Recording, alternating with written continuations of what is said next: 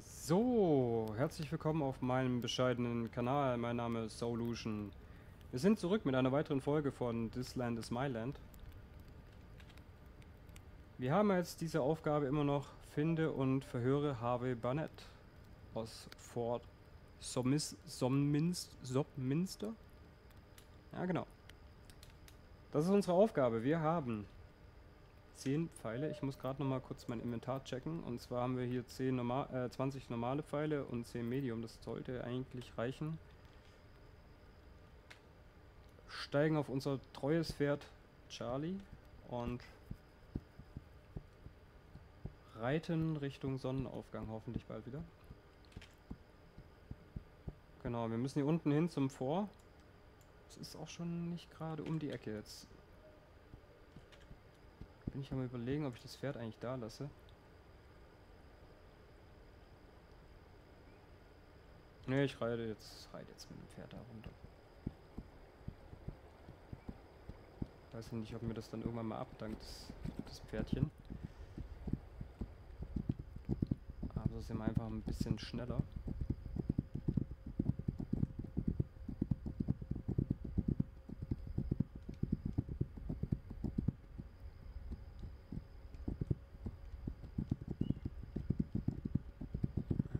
der Steuerung echt noch ein bisschen, also mit der Pferdesteuerung ein bisschen klarkommen. Es fühlt sich noch nicht so ganz stimmig an für meinen Geschmack. Jetzt muss ich gerade noch mal schauen, dass mir das Ding hier immer aufgeht, ne? Ne, über den Fluss müssen wir nicht, wir müssen hier rechts weiter.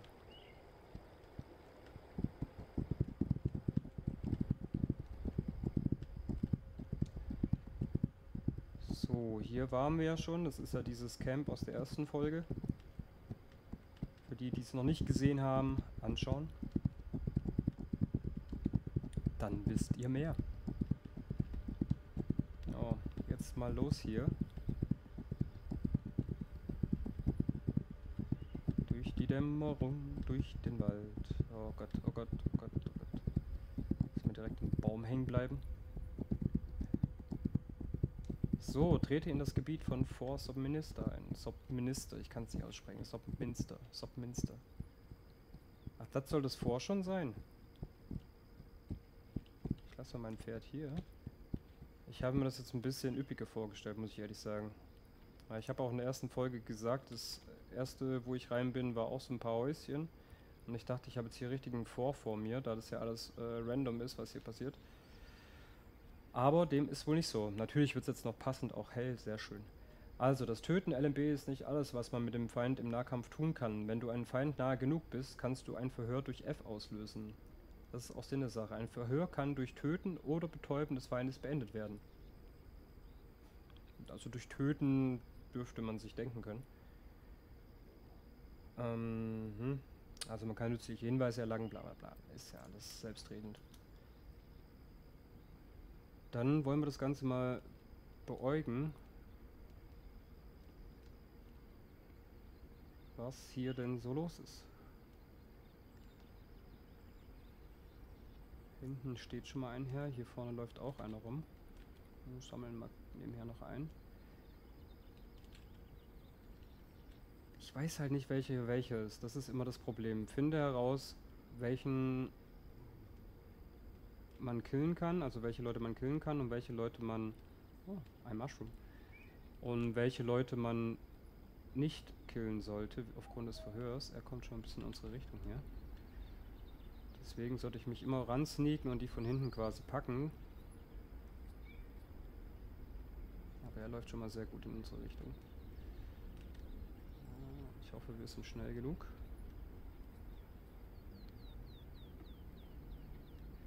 Ja, weil jetzt gleich, wenn ich... Ah, er muss pinkeln. Okay, das dauert noch kurz.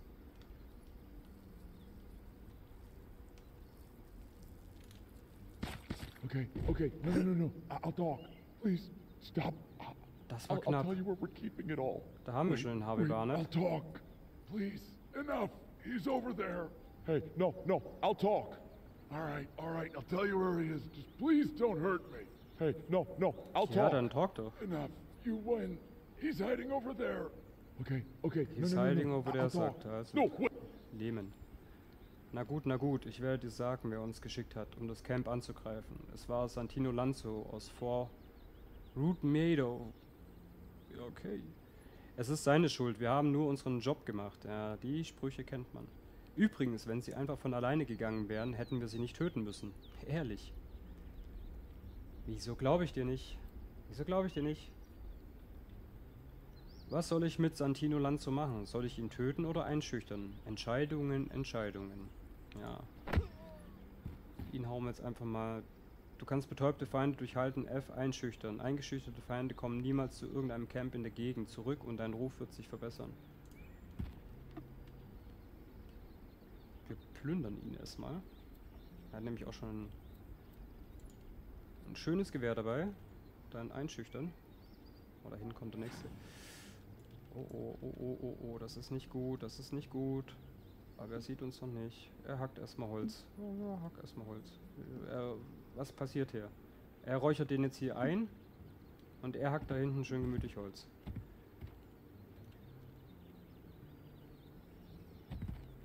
Ist er jetzt benommen und lässt uns in Ruhe?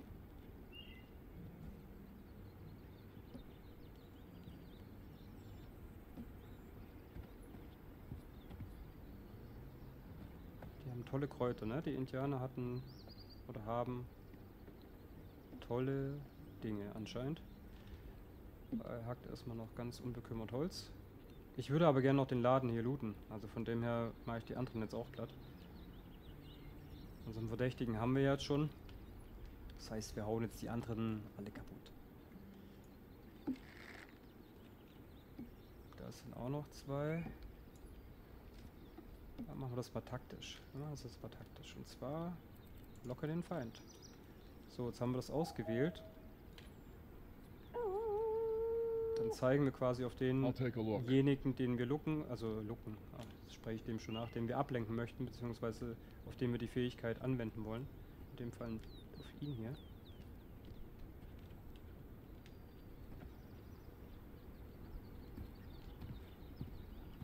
Auf Henry Harris.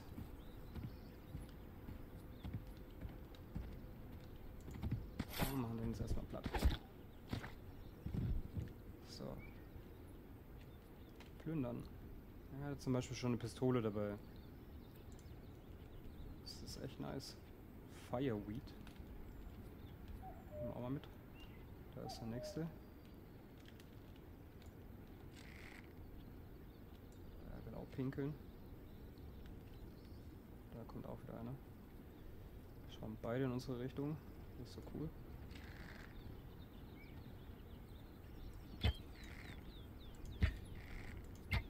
Ähm, ist nicht so, dass ich auf deinen Kopf schieße. Das interessiert den irgendwie nicht so. Na gut. Mega gut. Mega gut.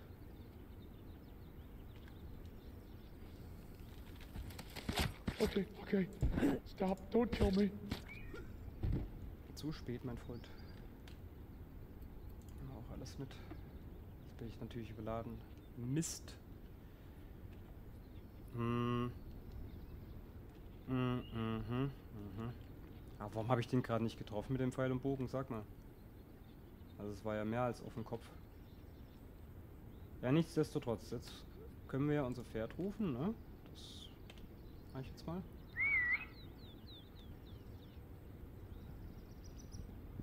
So, und das Pferd müsste doch Taschen haben. Halten, Z, Pferd, Satteltasche. Genau. Da möchte ich gerne mal so ein paar Sachen reintun. Ich weiß zwar nicht, wie viel das Pferd hier unten steht. Es kann ordentlich tragen. Es kann sogar mehr tragen als wir fast. Na gut, jetzt haben wir ja gelevelt 10. Das, haben wir, das heißt, wir haben jetzt 50 Gewicht, das ist 45. Legen wir den ganzen Mist mal da rein. Halt, Schiff gedrückt halten, hinlegen, hinlegen. Was ist denn hier noch schwer? Die Pistole wahrscheinlich, die hauen wir da auch mal rein. Das Kleinkaliber da rein. Hat noch Gewicht? Das Gedöns hier. Das Gunpowder Charge hat auch ordentlich Gewicht, ne? Wir sind jetzt schon gut leer, das passt. Kautionslevel.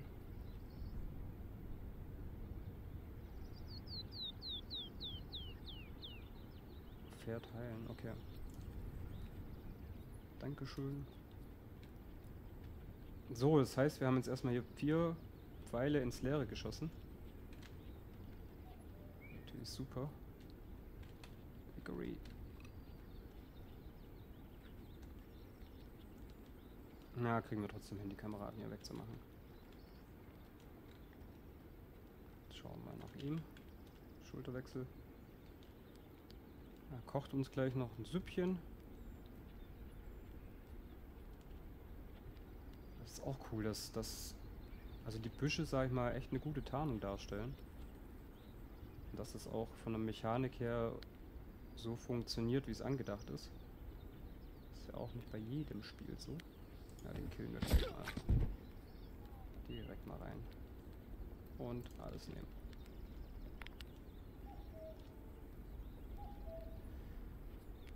So, das müsste der letzte sein hier. Der ist jetzt im Haus wahrscheinlich, ne? Der Lump. Sollen wir mal die Wumme probieren? Müssen wir noch nachladen. Hauen wir mal ein bisschen Blei ins Gesicht. Ist auch direkt beim Kochen. Kann ich hier mit gezogener Waffe schon ran? Ne, kann ich nicht. Das Fenster rein nicht direkt zu Platz.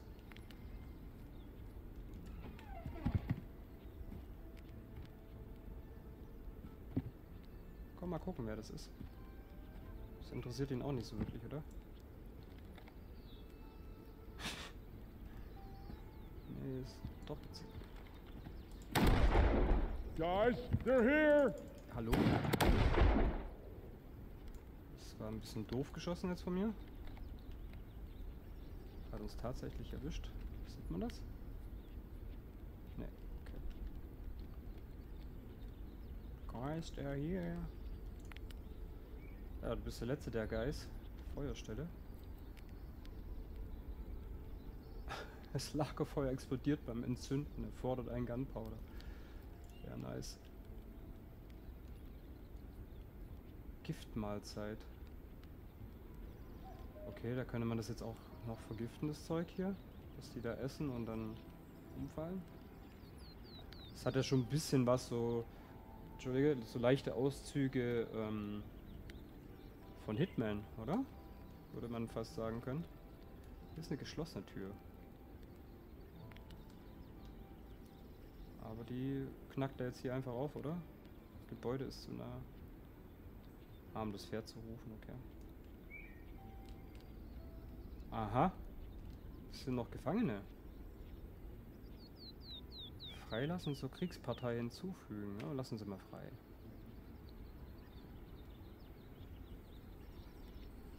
Wechseln mal die Ego-Perspektive. Er rennt einfach weg, er sagt nicht Danke oder darf ich mich dir anschließen oder so? Machen wir bei ihm mal zur Kriegspartei hinzufügen. Kriegsgruppen. Halt, halten 3, um auf das Kriegsgruppenmenü zuzugreifen. Du kannst bis zu vier Kriegsgruppen mit vier Kriegern pro Gruppe haben. Ah, interessant. Genau, und da kann man dann die Krieger dann quasi befehligen, ne? Jetzt sieht er irgendwie komplett anders aus, oder? Genau, jetzt hat man hier so dieses Menü. Feuer öffnen, angreifen, sammeln, aufs Pferd steigen, hocken, und so weiter und so fort. Haben wir hier mal Munition und halb... Macht er das jetzt? Nee.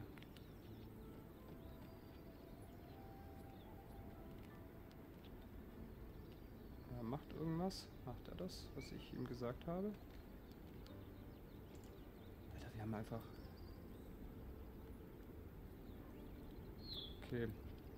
Ich habe die Herstellung von Regular Smith Russell Pistol Part 3 von diesem Bauplan gelernt. Sehr schön. Aber ich bin wahrscheinlich wieder massig überladen. Mal mein Pferd hierher holen. Auch oh, nice. Sieht sogar die Animation. Ich könnte ihm ja auch Gegenstände eigentlich mal in die Hand drücken, ne? Das sind die, die er jetzt bei sich trägt. Ja, ist schon seine Pistole, aber du brauchst nicht die Knarre ziehen, wenn da mein Pferd kommt, mein Freund.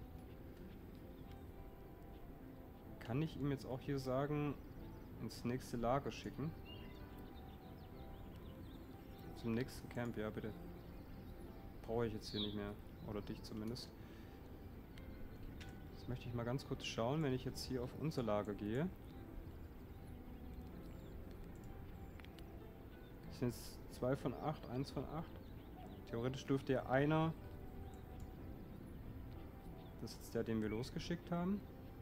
Und der andere, den wir befreit haben, ist der schon da wahrscheinlich, oder? Also ob wir es jetzt freilassen oder direkt quasi in die Kriegsgruppe mit einnehmen, die werden auf jeden Fall sich unseren, unserem Stamm anschließen, so wie das aussieht. Das ist schon mal recht nice. Okay, also in die Satteltasche rein und zwar... Wir hatten das noch nicht mehr viel, ne? Das hat 14 Gewicht. Das ist ein bisschen zu schwer dann fürs Pferd. Machen wir mal so. Machen wir gerade noch so. gibt es halt so viel zum Plündern. Ihr seht es selber, hier gibt es so massig viel zum Plündern. Nehmen, Gunpowder nehme ich jetzt mal. Alles nehmen. Ich kann doch hier nichts übrig lassen, sag mal. Also bin ich ja wieder massig überladen. Und ich würde jetzt mal stark spekulieren, wenn ich überladen bin, kann ich keine Schnellreise machen. Aber es ist ja abartig, was man hier alles plündern kann.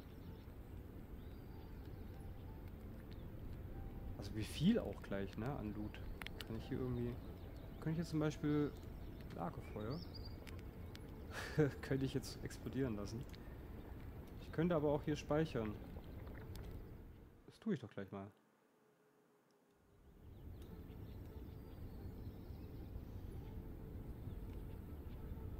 Bei mich würde es jetzt auch interessieren, ob das jetzt... Tab, ob das jetzt so ein Lagerplatz ist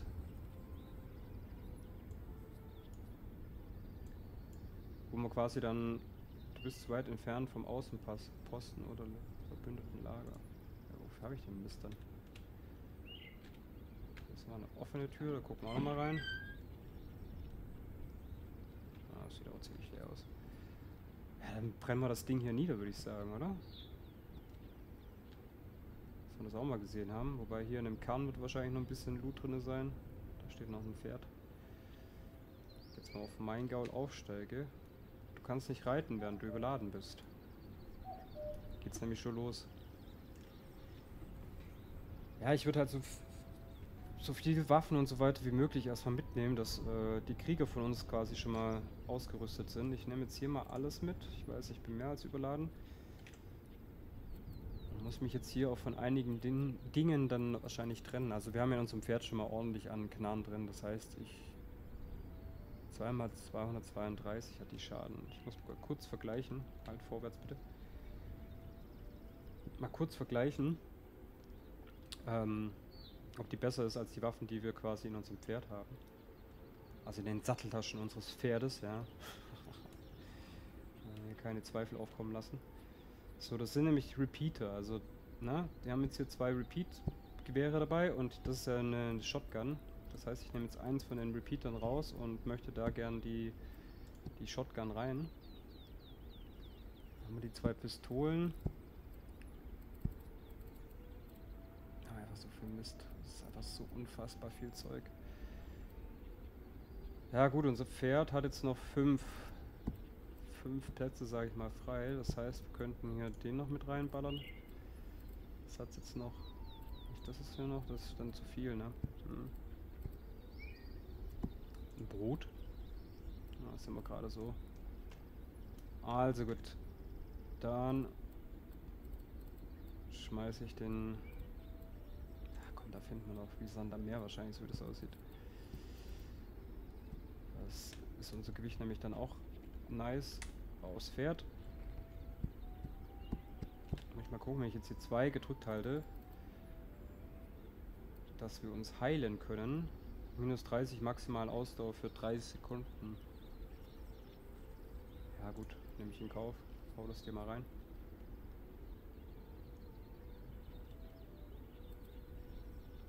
Ja, nochmal irgendwas. Mushroom.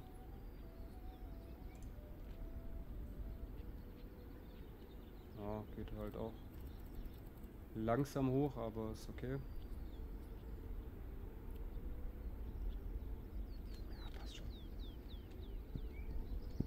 So, wenn ich jetzt hier auf Fähigkeiten gehe, Siedlung niederbrennen.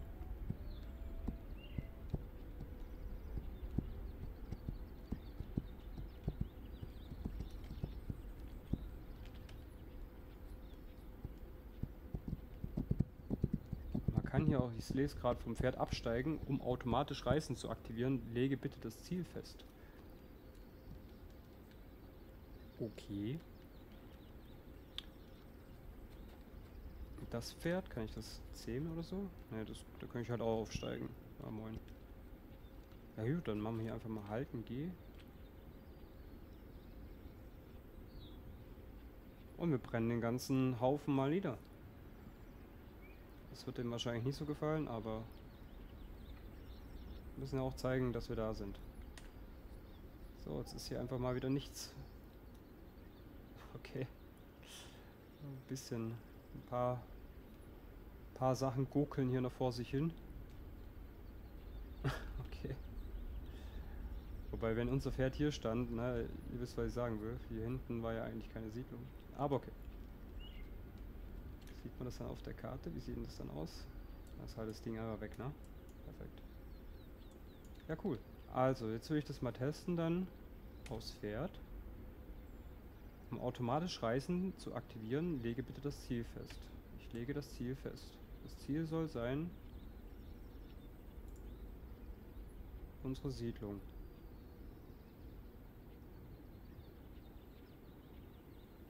Zeitskala-Steuerungen sind deaktiviert, während du auf einem Pferd reitest oder einen Wagen fährst. Jetzt habe ich, genau, jetzt habe ich das ja aktiviert, jetzt habe ich Cap Caps Lock automatisch reisen, dann mache ich das mal, Caps Lock. Jetzt rennt der hier automatisch los, das ist ja ein bisschen Drunken Master Style, aber...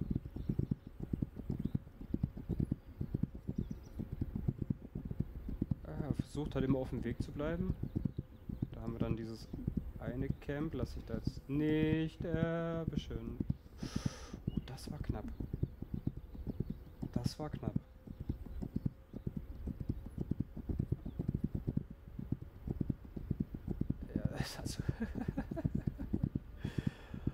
Äh, er eiert schon ganz schön rum, muss ich sagen. Aber es ist äh, schon eine recht coole Funktion, also gefällt mir auch schon. Habe ich zum Beispiel jetzt auch noch nicht gewusst, dass es das gibt.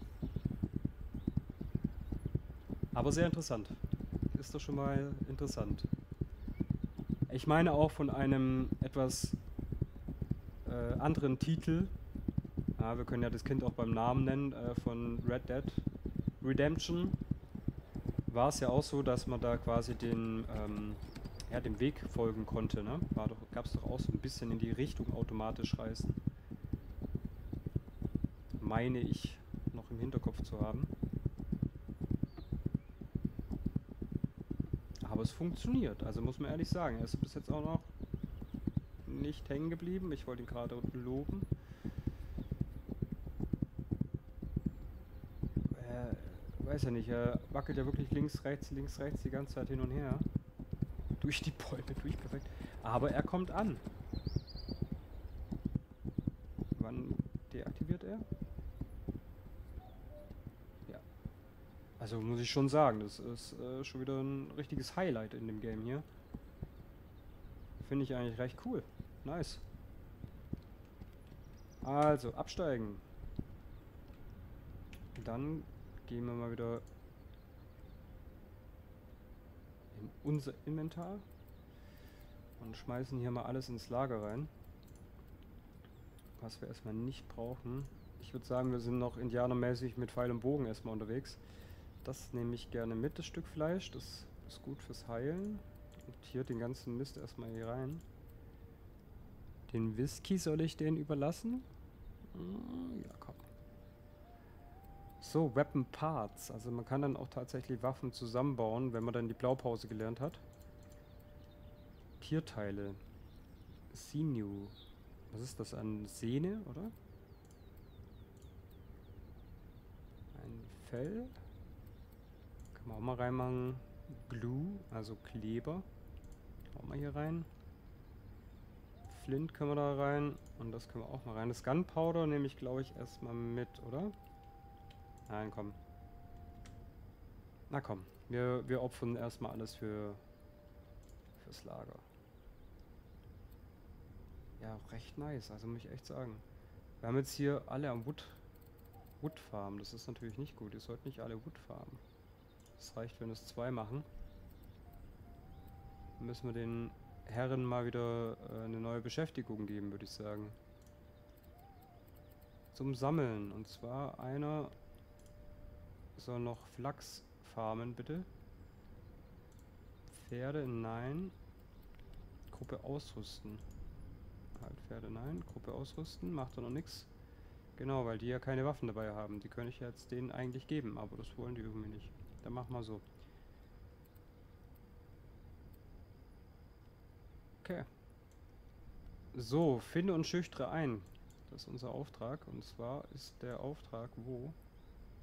Hier unten. Wieder ein ganz schönes Stückchen weg. Aber ihr seht, das, was jetzt vor uns schon freigelegt war, das Vor, wo wir vor uns waren. Neutrales Lager. Dieses Vor gibt's. Also das wird mir jetzt hier gar nicht mehr angezeigt. Okay.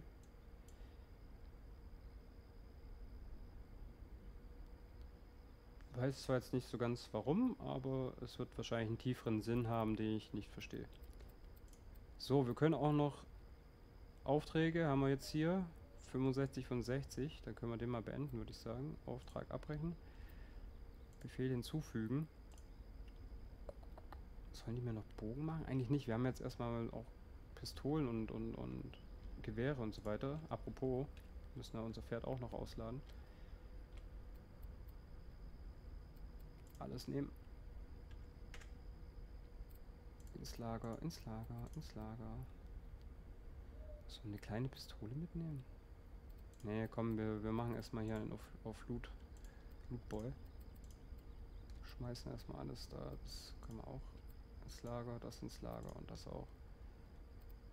Genau. Okay. Pfeile müssten auch erstmal ausreichen. Aber das Spiel hat Potenzial. Also wir können jetzt auch zu unseren Leuten sagen, komm hier, greift mal irgendwas an. Ich könnte wahrscheinlich auch zu meinen Gefolgsmannen sagen, die sollen dieses Lager jetzt angreifen, dieses Fort Root Meadow. Aber das werden wir selber ähm, erledigen.